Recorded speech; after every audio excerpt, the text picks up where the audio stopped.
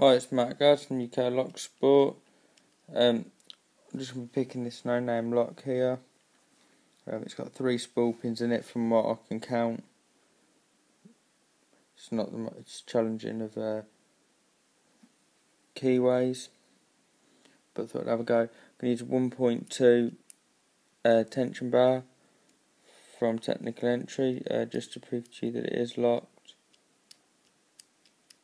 Uh, can you snap him? So put some tension on.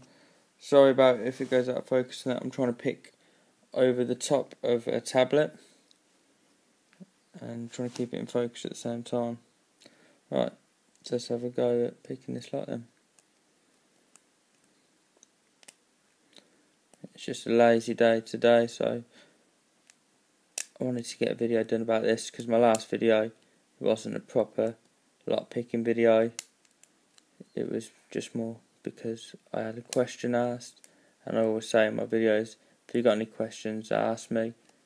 And I just wanted to answer the person basically. So there we are, got false set. Now the front pin here binds up after this first false set. Sorry if it goes out of focus again. So now you're going back about third pin in, takes it into deeper false set, and then it should be the second pin. If I remember the, yeah, there we go, and it's open. So yeah, two spool pins.